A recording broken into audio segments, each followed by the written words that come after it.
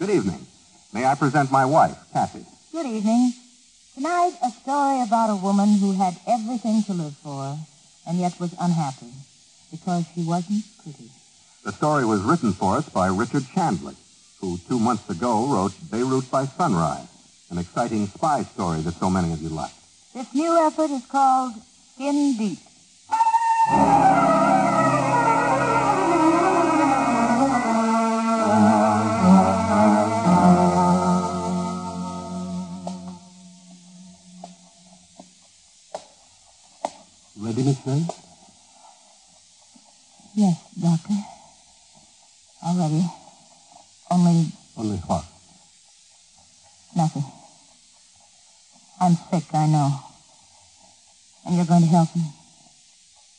That's sodium pentothal in the hypodermic, isn't it? You're going to cross-examine me while I'm asleep. Yes, sort of like that. I'll just hold your arm still. Don't tense up. Relax. That's it. Now start with a hundred and count backwards. 100. 99. 98. Fine. That's fine. 94. 93. 92. 93. What comes after 92?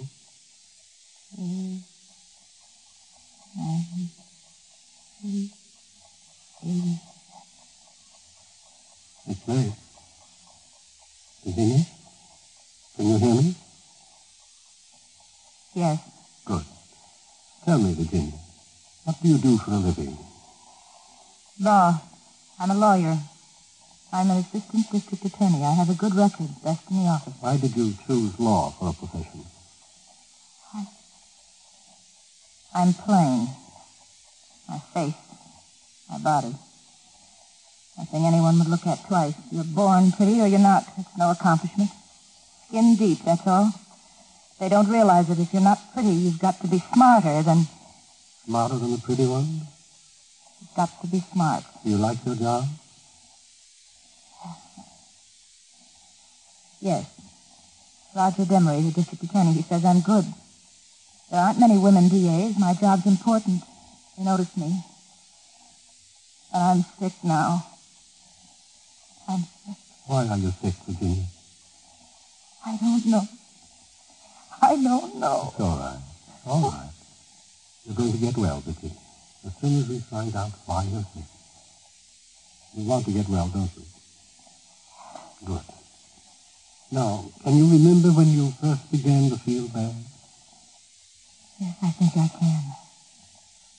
There was a trial. Felony case, Charles Ackerman, armed robbery. I was sure I'd get a conviction. I build my cases well. Everyone knows that. I work hard. I go to court to win. The defense attorney, Sibley, had one from him before. He was tricky this time. Got some of my evidence thrown out. It hurt my case, and I wasn't sure of the verdict. Yuri went out, and for the first time, I wasn't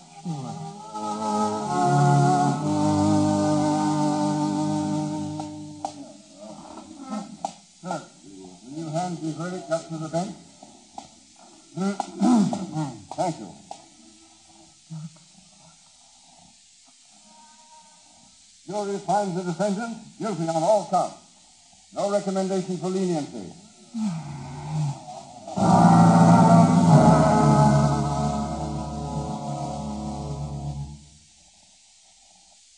Maybe I was hard.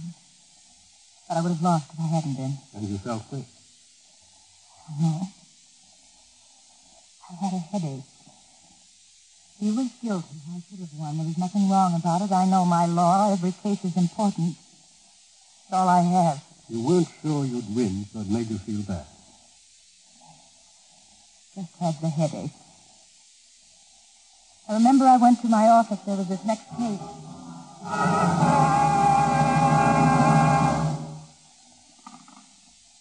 District Attorney's Office, Miss Slade. Mr. Demery, Virginia. Just heard the Ackerman verdict. Congratulations. Good work as usual. Thanks, dear. Good fight, but we won. I wasn't worried. Not with you on case. You sound a little tired. No, I'm fine. Feel great. Why shouldn't I? Then you're ready for the next one. This uh, Carolyn Rice. Oh, yes, yes. I went over the file last night. With an open verdict from the coroner's jury, it's up to us. How do you see the case, Virginia? Just plain accident, manslaughter, or what? The way the husband was killed? Could have been murder, too. Yes, I know. But the murder line's pretty vague. It'll take some proving. The intent. Well, I've only got the transcript to go by right now, Mr. Demery. I don't want to overlook anything. Of course, if you want to let it go. Oh, uh, you look into some more. I just don't want you to bite off more than you can chew. I never do that, Mr. Demery. Who's the lawyer? Justin, his name. Came out from Chicago. Friend of hers, I think. Don't know much about him. Justin? Ray Justin? You know him? I might. I knew a Ray Justin once. In law school.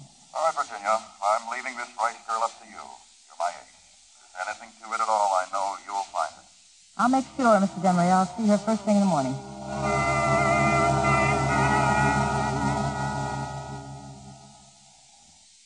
I felt better talking to Mr. Demery.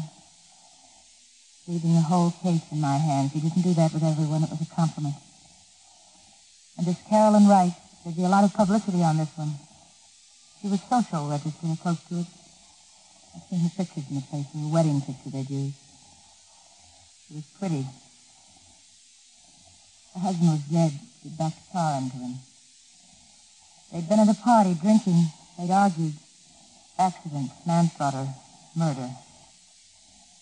It was my job to think the worst about her. Don't you see? I had to make sure. The next morning I went to the jail, and I remember wondering about her attorney. It was the same Ray Justin I knew in school.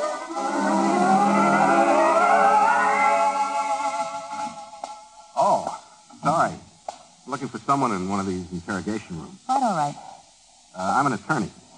So am I. Oh, maybe you can help. I'm looking for an assistant DA, a character named Slade. They told me. I'm Virginia Slade. Justin? What? Oh, excuse me. I thought Slade'd be a man. Well, wait a minute. Don't I know you? Yes, a long time ago. Law school. Slade. Sure, Virginia Slade. The glasses fooled me. what do you know? You really remember me? Why, sure. Serious Slade. That's what we used to call you. You didn't know it, though, did you? Yes, I knew it. Hey, wait a minute. I almost forgot. We'll finish reminiscing later. First, I'm going to roast your hide. Why? Well, my client, Carolyn Rice. You people seem to be trying to make something out of an unfortunate accident. No, not if there isn't anything. It's open to question, though, if she's criminally responsible. I've gone over it quite carefully. Well, you're going to have to make a charge. What do you think you can charge her with? District attorney wants me to look into it, that's all. You're not afraid to have me talk to her, are you? No, of course not. But she's already gone through enough, don't you think? Yes, I'm sure she has. They always do. Okay, I'm not going to argue. Huh? I don't have to because there's nothing. Oh, Carolyn, come on in. You look lovely, dear. How are you? Fine, Ray. I do. Under the circumstances. Here, sit down. Here. Uh, uh, this is Virginia Slade. How do you do, Mrs. Rice? I'm the assistant district attorney. Turns out the DA's a woman and an old friend, a classmate. All right, Mrs. Rice, shall we talk? I, I've done so much talking, Miss Slade. I hope Mr. Justin's here. He won't let you say anything wrong, I'm sure. Wrong? What do you mean? Ray, Oh, it's just professional patter, Carol. There's nothing to worry about. These questions are because most of your answers at the coroner's inquest were incomplete, or I don't know. I told them all I remembered, honest. You remember quarreling with your husband. Yes. He'd been drinking, made sort of a fool of himself, and I wanted to go home. I see. And you left the party and went to the car. Other guests established the time at 11.15. Yes, I guess that's right. Please don't make me go through it again. I'm sorry, Mrs. Rice, but it's to your benefit if you can. But try, Carol. Just once more, and that'll be it. Your husband was killed at 11.45. You got in the car at 11.15, so you just sat in the car a half hour. Yes, I, I guess I did. You were drunk? You were sobering up? No. No, I just had one drink. I don't like. But you sat in the car and waited for a half hour. Yes. I was disturbed about quarreling with Celia. I didn't feel I could drive. I guess I sat there trying to get a hold of myself. Mrs. Rice, did you love your husband? Yes, of course. Oh, wait a minute, Virginia. I don't think that. I'm just trying to get answers, Mr. Justin. I'm trying to find out what happened. No one saw it. No one really knows what happened but Mrs. Rice. But I don't know. I don't. Now, look, Virginia, please. I'm trying to help Mrs. Rice remember. You remember it, don't you, Mrs. Rice? I didn't see him. I couldn't. You remember. You were sitting there in the car waiting. You waited for him to come out. You were angry. I don't know. You said you were disturbed. You were angry. No, I was only. You sat there and waited for him to come out. You watched him. You watched him come toward the car. I didn't see He him. stepped off the curb and he was walking toward the back of the car. Remember? You waited. You watched him in the mirror and waited. Then you jammed the car in reverse and deliberately stepped on the gas hard. No. No, no, I didn't see him. Wait a minute, didn't- Miss DA. You're not going to get anything this way. Is there something to get? That's just what I want to know. A lawyer all the way from Chicago. This town is full of lawyers. If it was an accident, why a lawyer all the way from Chicago, pretty Mrs. Wright? Don't answer, Carol. That's enough. All right, Miss Slade. We want to be helpful, but you're trying to make a crime out of a tragedy. Don't you have enough legitimate crimes in this city? We want to get the facts, Justin. My job, you know that. You've got all the facts. Carol's telling the truth. It was an accident. There was no intent, and you won't find it. We'll see, Mr. Justin. We'll see.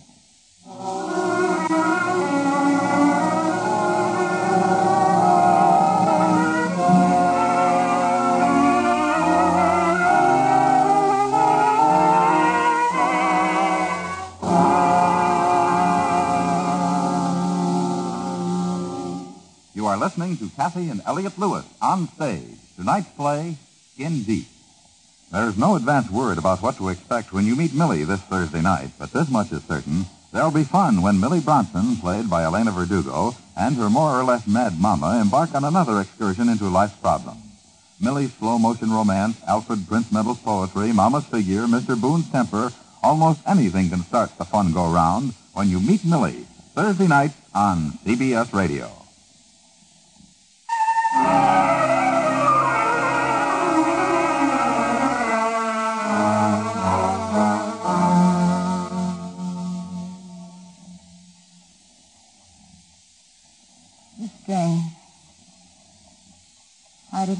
Happened to me. The words just poured out of my mouth automatically. I couldn't help myself. You know why, Virginia? I. I guess because I'm a lawyer, I don't have anything else except the law. I've trained myself to think like that. I couldn't stop. I had to find out about Mrs. Rice. It was routine, It was routine. That was the only reason? yes. What other reason would I have? All right, Virginia. Go on. What happened next? Ray Justin, he remembered me. I wasn't noticeable in school. I kept to myself. I was too busy for parties. He remembered me.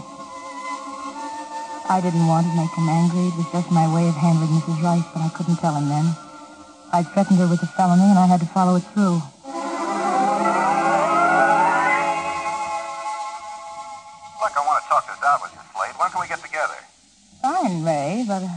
Any free time this week. You free after hours? How about dinner? All right. Uh, You don't mind. Do my best work over dinner. You'll have to name the place. I don't know your town. The hotel's lousy. I'm a fair cook. How about my place? Well, tonight? All right. It's uh, 604 74th Place, apartment 12. 8 o'clock? Fine.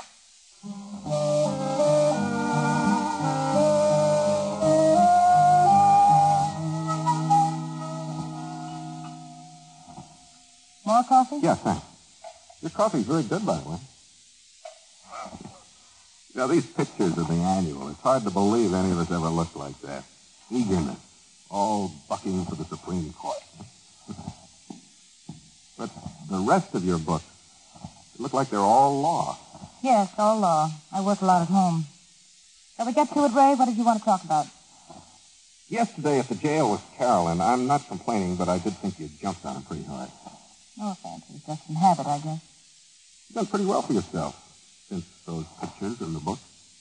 I just practiced what I was taught, that's all. And you've charged Carol with second-degree murder.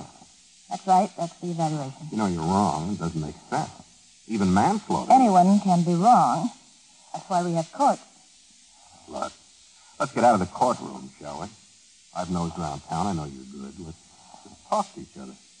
Fine with me. You and Mrs. Rice are friends, aren't you? Well, her husband, Jerry, and I were in the war together. I was best man at their wedding. We kept in touch. So, yes, I know Carolyn pretty well. She loves Jerry. And I know she'd never get mad enough to kill anybody. It was an accident. The coroner's jury wasn't sure either way.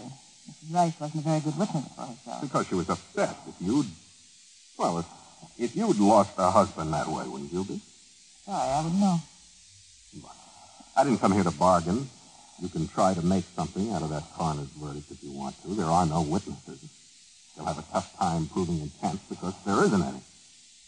I was hoping you'd understand what kind of a girl Carolyn really is. You don't have to eulogize her. I understand. What do you mean? I mean, you're her attorney. Her friend. Naturally, you believe in her. Defense attorney always believes in innocence. And the prosecutor always believes in guilt, is that it? No. A prosecutor upholds the law, and the law is impartial. Hmm, that's one way of looking at it, but a little machine-like, isn't it, when you're dealing with people? Yes. The only way you can do the job. Then you're going ahead with this crazy prosecution? Not me, Ray. It's the law. Okay, but you're wrong. You're leaving? Sure. You've made me a lot of work in case you get past the preliminary hearing on circumstantial evidence. Wait, isn't there... I mean, Something else to talk about? no, I guess there isn't. Except that outside of business, it's nice to see you, Ray. Outside of business, it's been fun. Good night, old serious Slade.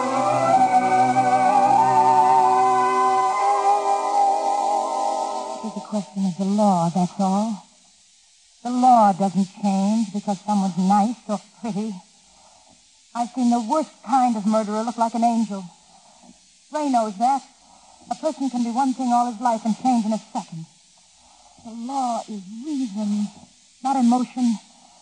And he, he was basing it all on emotion. And it's all. Yes. He shouldn't have done that. It bothered me. Wasn't it natural for him to feel that way? I, I don't know. I I hadn't seen Ray, hadn't seen anybody like that. State in a long time. I always had so much work. I, I didn't want to talk law. I wanted to talk about other things, but I got mad and I couldn't. Why? He said I was wrong. He said I didn't have a case against Mrs. Rice, but I did. You can't tell a person is innocent by looking at them. They'd argued and she'd killed her husband. I could put together a case. I knew I could. I had a continual headache. It made it hard to work. So I found my witness.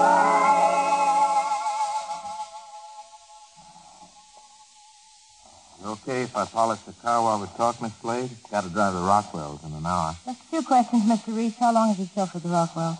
Three years? You drove them to the party that evening, waited in the car. Yes, ma'am. I was in a car. Vice car was parked across the street. All I want to know is what you saw. Well, I was just sitting there reading. I saw Mrs. Rice come out and get in her car, and I thought, that's funny, quitting a party this soon.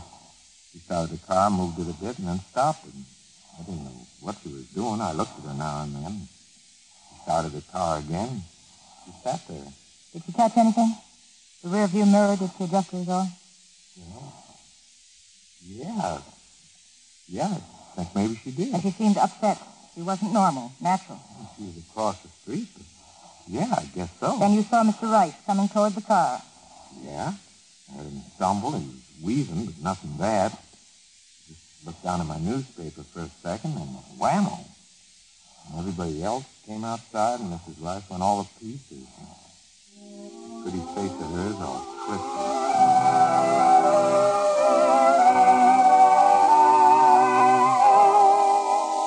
It would be easy with the chauffeur as a witness. That's all I needed. He'd seen it happen, seen what Mrs. Rice conveniently couldn't remember. I wasn't wrong about her. She was emotional. I knew her kind. I could get her to admit she meant to do it at the trial. Even if it had been in her mind just one second. One vicious, unreasonable second of only wanting to hurt him, it was murder. I should have felt fine. Nothing to worry about. But I was. Somehow, somehow I was worried. And the day of the hearing that morning, we were waiting for the judge, and Ray came over to my table.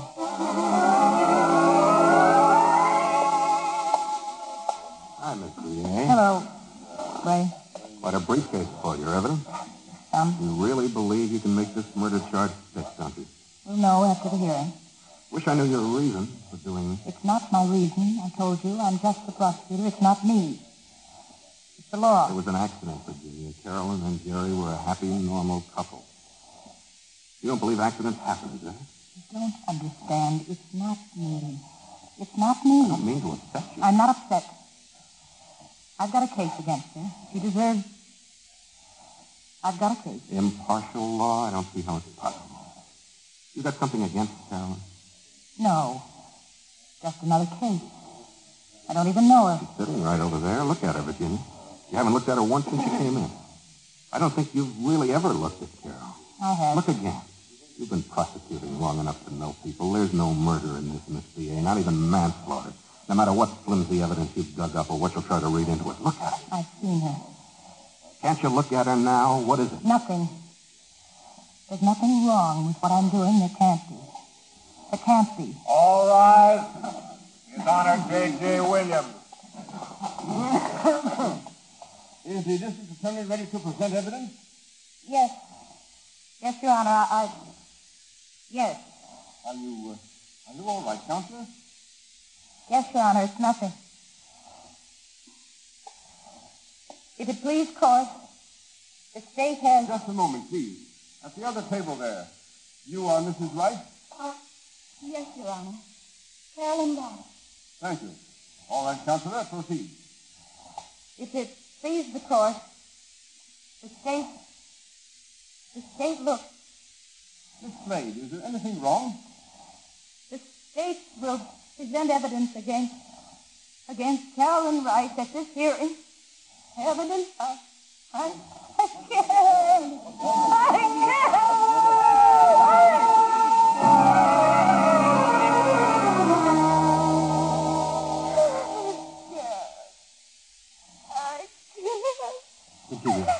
why couldn't you go on with it? Why?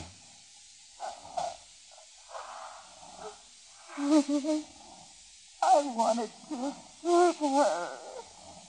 I wasn't being a lawyer. I was only trying to hurt her. Why? Think, Virginia, why? Pretty. She was pretty. She was born pretty. That made her life easy. She could get a lawyer all the way from Chicago because she was pretty. I was wrong, wrong from the beginning. I wasn't being honest about the law. The law is all I have. What made you think, Virginia? That moment at the hearing when you realized what you were really doing, that you could be like that. You shut it out of your mind, but you still felt sick. Yes. Oh, I couldn't go on with it. I was. You couldn't continue if you were sick, could you? So you got goodness sick. A part of you recognized that the basis for your antagonism toward Carolyn was that she was pretty and you couldn't face knowing her. So to protect yourself, you got goodness sick so that you wouldn't have to go out with her. You can see that now, can't you, Virginia? Yes. Yes. Now you'll get well. Rest now, Virginia. Lots of rest, and you'll get well.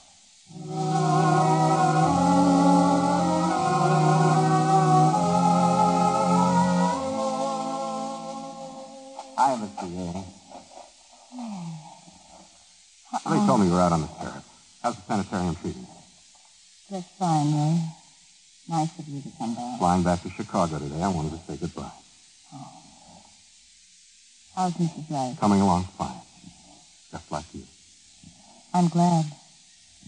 I'd like to tell her how sorry. Don't worry about it. Everything's fine. When are they going to let you go back to work? Two more weeks, they said.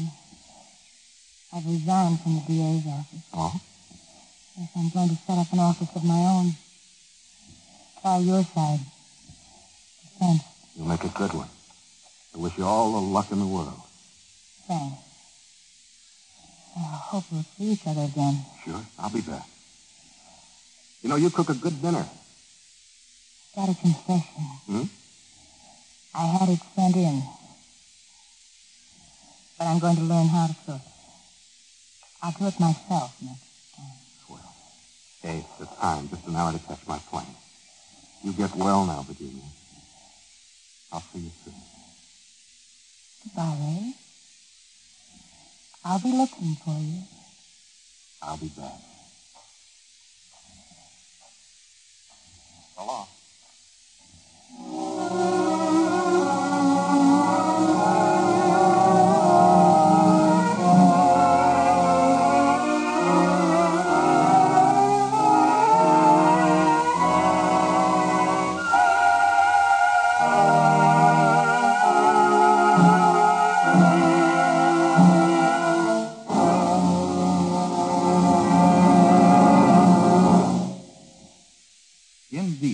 Starring Cathy and Elliott Lewis on stage. In a moment, Mr. and Mrs. Lewis will tell you about next week's play. Going to be home tomorrow during the day? Here are two things to do about it. Enjoy Arthur Godfrey time with all the little Godfreys and Art Linkletter's House Party, both on CBS Radio. They're yours Monday through Friday in the daytime over most of these same stations. Star daytime attractions at the Star's address. And now, once again, Cathy and Elliott Lewis.